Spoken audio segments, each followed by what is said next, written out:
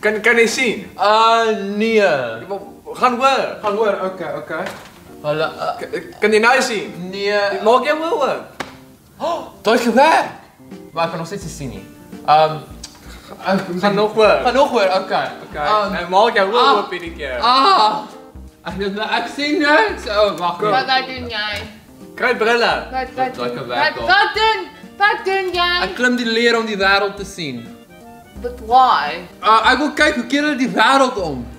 Nee, nee, dis nie die werk nie hoor. Ek is baie moeilik om te sien. Jy gaan nie dit is dit dis 'n ding hoe jy jy- dis 'n praat ding. Dis 'n sê ding. O, ek moet Dis sê, maar hier's 'n dak in die As pad hulle en die op wêreld mure. omkeer gaan sommer afval. Wanneer jy afklim nie, dan begin ons video. afval.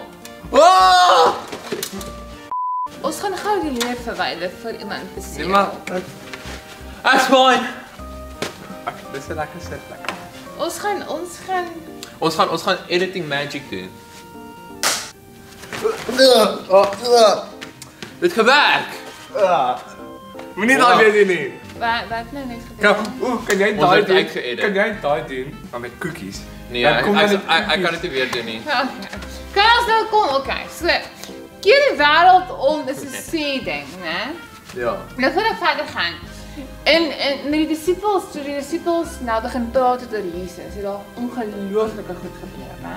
Ongelooflike goed. So, en hierso in Handelinge 4 vers 4 Tog het baie van die mense wat hulle prediking dat hulle nog um, gepraat het, gehoor het, gelowig geword en die getal van gelowiges het aangegroei met omtrent 5000. So wat hier gebeur het, dis dit ons het begin praat oor Jesus. Jesus is nou nie daar nie.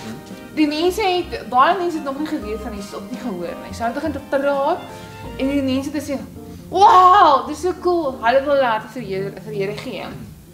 En duisende mense het omtrent elke dag hulle harte vir Here begin gee.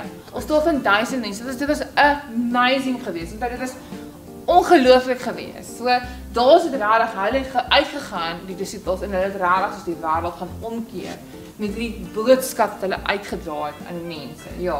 Maar dit was soos omdat dit so wild boodskap was, sê ons hulle die wêreld omgekeer. Ah. Dit het wêreld omgekeer gaan maar afval. Nee, ek tog gaan net af. Nee, nee, nee. Okay.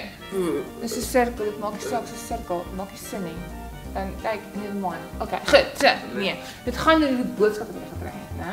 Nou, um iewers in Psalms dink ek staan daar hoe wonderlik klink die um geluid van iemand wat die goeie nuus bring van Jesus, né? Goeie nuus. van Ja, Jesus. so ja, so weer eens, dit gaan 'n wonderlike boodskap wat uitgedra word. Nou ons is lief vir Jesus, né? En ek dink hulle is Ja. lief vir Jesus, né? En ons ons sien baie maats elke dag. Ons sien mense in winkels en ons sien mense oral, en maats oral en ons weet nie altyd spesifiek en regtig erg het al harte vir Jesus gegee nie. En ons sit met 'n verskriklike belangrike 'n boodskap van Jesus. Johannes 3 vers 16, want Jesus is so lief vir ons, hy het vir ons aan nie Kruis Kruis gesterf. Kruis Ja. gesterf. Hy stadig. Nou, so en en dit is sodat ons gered kan word en soos ewige lewe Lewe. kan hê. Lewe kan hê. Ai tog. Okay. So, ons het net 'n wonderlike boodskap. Nou, ek dink ek dink ons is nou besig met die einde van die jaar na en Ja. ek dink baie kinders is besig met toetse en eksamens en raak moedeloos. En ek dink ek dink met COVID het baie van ons deur moeilike tye gegaan. En weer eens, ons wat lief is vir Jesus, ons het met 'n belangrike boodskap wat ons moet gaan vertel daar buitekant, my Bybel daar's op Bybel. Boodskap, né? Boodskap. Ja. En ons moet gaan vertel daar buite want dit gee weer hoop. En dit gee vrede. Daar buite of daar buite? Stand stil. Waar jy beweeg. Okay. So dis so belangrik ons moet gaan praat en vertel dat ons mense kan hoop gee en vrede. Alraai. So, ek het julle nog 'n versie lees, né? Die versie is in Romeine 10 vers 17. Die geloof kom dus deur die prediking wat 'n mens hoor en die prediking wat ons hoor is die verkondiging van Jesus. Nou daai prediking is nie net ek wat kerk toe gaan en gaan luister na die dominee of die sonnaskool tannie nie.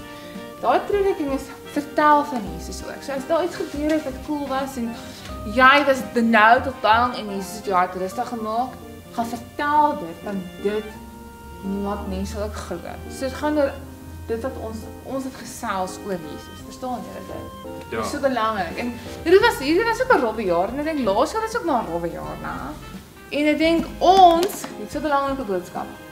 Ons moet daai boodskap vertel daar buite vir al die mense sodat ons vir hulle kan sê, "Hey, daar's hoop en daar's vreugde en daar's lewe en no worry nie want Jesus is Moet sê lief vir ons. nou. Lief vir ons. Lief vir ons. Woehoe. Ons moet gaan vertel van Jesus. Wat? Bos, bos, bos. Wat het nou gebeur? Ek weet nie. Kom ons kom ons sing daai awesome liedjie. Let your light shine. Whoa, let your light shine. Gaan eers nou 'n bietjie sit en dit is Let your Baie light van shine Jesus. and let Jesus shine through you.